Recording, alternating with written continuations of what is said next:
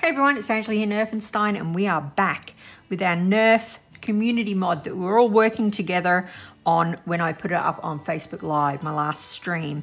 If you want to see an edited version of that, it's much, much shorter. It is probably my last Nerf video here on YouTube. I'd like to thank everyone who showed up for that stream. We had loads of great community ideas, some of which I'm going to show you now. But just really quickly, I'm going to run the names along here of everyone who took part, whether we use their ideas or not. Really good fun. I'm thinking of making community Nerf mods a regular thing. Okay, so here's the blaster, and it was named by Bren over on Facebook Live.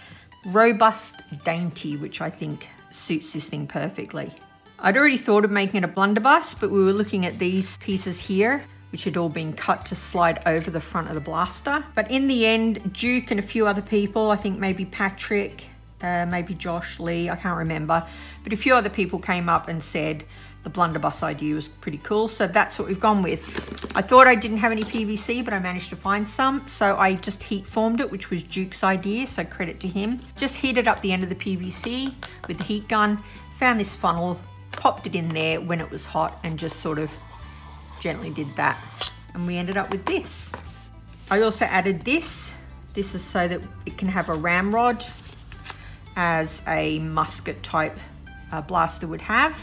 That's purely for aesthetics. It doesn't do anything. Obviously, you're not going to load it with that, but I thought it was a nice little addition regardless. You can see that we changed the butt. I actually sawed the bottom of it off, smoothed it out, attached that, super, super sturdy, and then I redid the grip. And how I did that was so that it matched the original grip, was literally some craft foam and scored in that sort of pattern that the original grip had, and then just glued it around. Super easy if you want to do that and you want to change the grip somewhat. I like this now. I think it hugs the hand better. Pretty cool. Okay, so where we're at at the moment is I'm about to dry brush this, which I know is super boring for anyone who's watched any of my other painting videos. It is literally me doing this with some silver paint. I'm gonna do that all over before we begin working out what color's gonna go where. Again, thanks to everyone who took part. I'm definitely want to make uh, community nerf mods a thing. Really really fun. And you gave some great ideas so cheers for that. I'm to time lapse this next bit so that you're not completely bored out of your brain. Take out the ramrod because we don't need that. And let's hit it and see what happens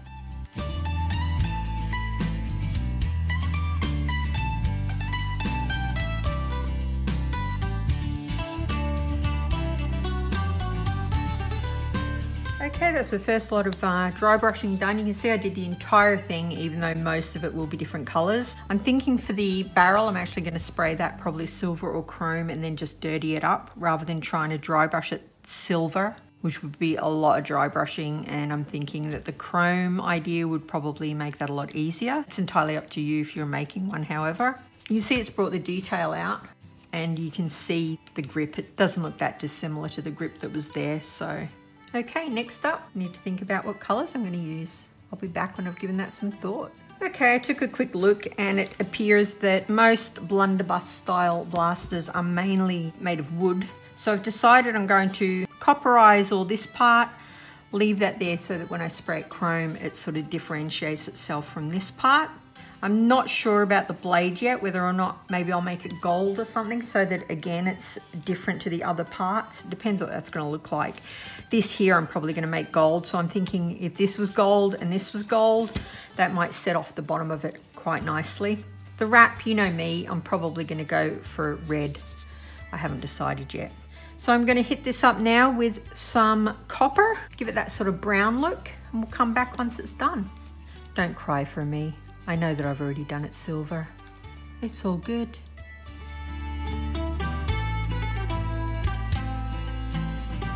Hitting it with that copper just lightly is sort of giving it this nice rose gold look. So if you wanted to do that, I guess the way to do it is by doing it silver and then doing a little bit of copper. Looks pretty nice.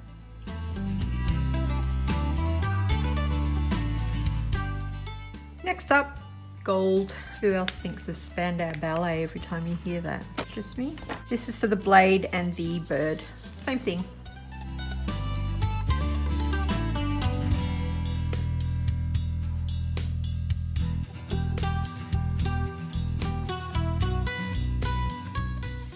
Okay, so we've done the copper, done the gold, I'm going to take it outside. I'm going to tape it off first, obviously, and I'm going to spray this chrome and then we'll dirty it up with some black paint mixed with some water. See what the color choices look like. You can never tell until it's finished, obviously, but we'll cross our fingers and hope for the best.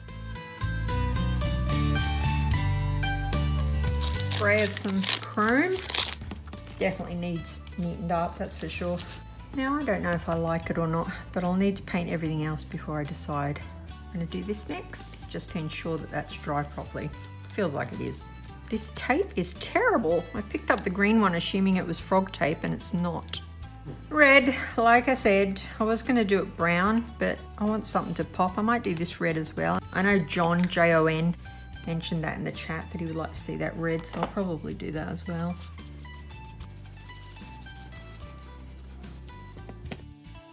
There we go. It's easy to do, it's just really time consuming. Like I've edited out a lot, no doubt by the time you see it, my arm is like, ugh. Next up this. This is when I hope and pray that the metallic paint stays on because some metallic paint is a right pain in that if you stick dodgy cheap tape to it, it will peel it off. As I say, I thought this was my frog tape, but they've obviously released it in green to suck people in. I'm going to do this brown, just to get rid of that silver, where I have stupidly oversprayed. Wait for that to dry, do another coat, and then we will dry brush it with a lighter color. Probably gonna dirty where this joins anyway with some of the black paint that I mentioned. There we go, wait for that to dry, and then we are gonna dry brush a little bit of a lighter color. It's important that you, when you're dry brushing, the layer before is dry, obviously, otherwise the paint will mix together. You already know that stuff. That'll do. You want to get it done today. Tape on, tape off. Did you get that movie reference? I bet you did. That's where we're at at the moment.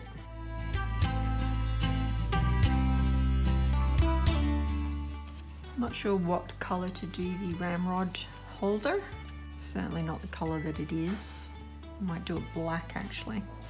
It definitely needs dirtied. Okay, gonna grab some water, some black paint, start splashing it on, hope for the best. Okay, if you haven't seen my how to dirty your Nerf blaster, I'll quickly run through it. You need some water, some black acrylic, mix it into an ink. It's clinging to the popsicle stick, and a brush. I'm gonna do this bit here. You don't have to be neat here, you just have to hope for the best.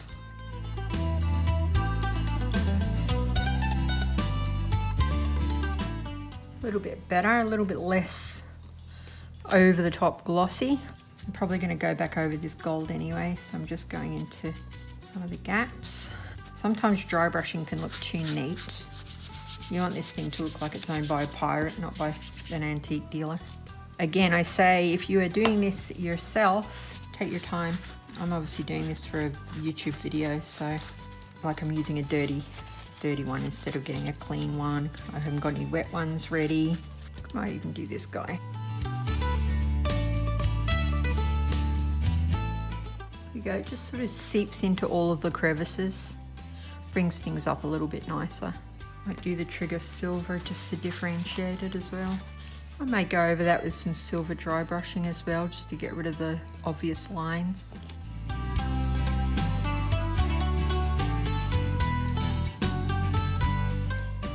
I've just had a crazy thought. I'm going to do it red because I want to.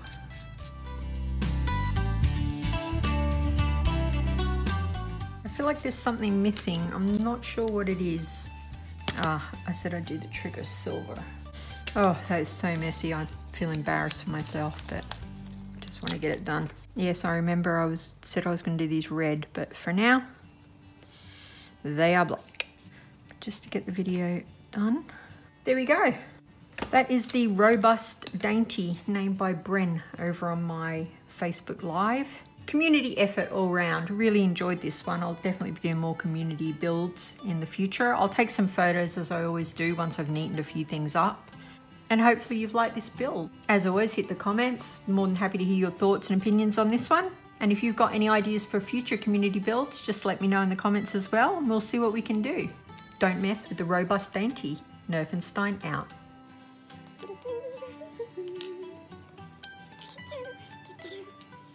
It's finished. It's a steampunk blaster now. Super quick addendum. I remember that John, my mate John, asked to put a little cage over here and paint it red. So I'm going to do that. And you'll see that in the pictures at the end. It's literally little bits of a hair roller. I'm going to glue them together to make it fit perfectly. Paint the inside white, wait for it to dry, paint the inside red. This will be silver dry brush, so black, and then silver over the top. All glued in and you should be able to see the red pop out through the silver. That's it.